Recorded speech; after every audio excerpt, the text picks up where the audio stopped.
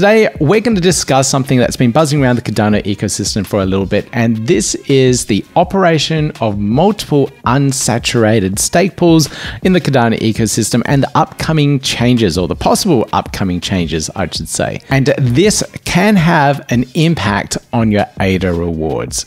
So let's get into it.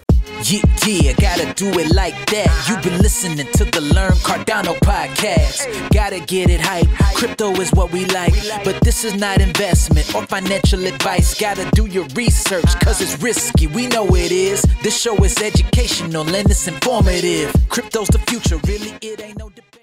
So, to start, let's get into what we're actually talking about here so we can have a better understanding. Now, Cardano runs on a decentralized structure, which means it is not controlled by a single entity. Instead, it's run by a lot of stake pools in the Cardano ecosystem. At the moment, approximately around 3,000 stake pools are active, helping run the Cardano blockchain and keep the network running smoothly and decentralized as possible. But here's the thing some SPOs run multiple unsaturated unsaturated stake pools, and unsaturated meaning that they haven't reached their maximum or optimal amount of ADA delegated to their stake pool.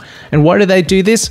It's simple. It means more pools, more ADA rewards collected, more of that minimum pool fee of the 340 ADA, which every stake pool can earn for every epoch they mint blocks. So this means if you spawn up multiple, like 10 stake pools, you can earn all those extra min pool rewards and to earn a lot more ADA in general. Now, hearing that, it kind of makes business sense, but here's the catch. This affects your ADA rewards as a holder of ADA and delegating to these type of pools, as these fees are divided amongst the ADA delegates. Sounds a bit unfair, doesn't it? Well, the Cardano Foundation has heard the community's concerns and is looking into this issue and putting it up for vote. The vote is about two things, two key parameters on the protocol. One is K and the other is min pool cost.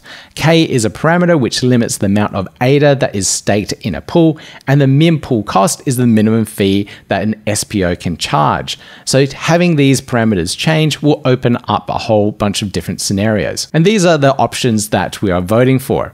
The options are to keep K at 500 and the minimum pool cost at 340 ADA halve the minimum pool cost to 170 ADA, but keep K at 500, increase K to 1000 and keep the min pool cost at 340 ADA, or increase K to 1000 and halve the min pool cost to 170 ADA, or abstain from voting altogether. So each one of these options will affect the blockchain and affect how stake pool operators run their pools in the future. So what does this mean for you? If K is increased or the min pool cost is reduced, it would discourage SPOs from running multiple stake pools that are unsaturated. This could lead to a fairer distribution of rewards for ADA holders, but it is not all sunshine and roses. Lower fees could also mean less incentives for SPOs to maintain and improve their pools.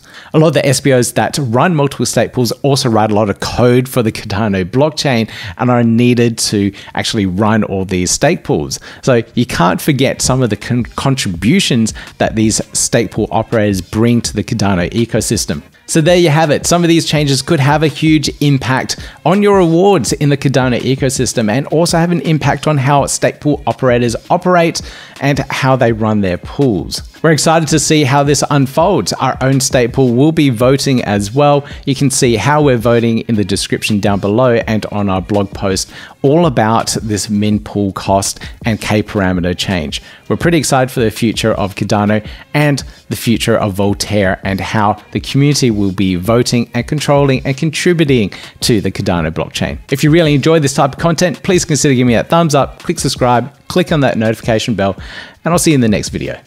Yeah, yeah, gotta do it like that. You've been listening to the Learn Cardano podcast. Gotta get it hype. Crypto is what we like, but this is not investment or financial advice. Gotta do your research, cause it's risky. We know it is. This show is educational and it's informative. Crypto's the future, really, it ain't no debate.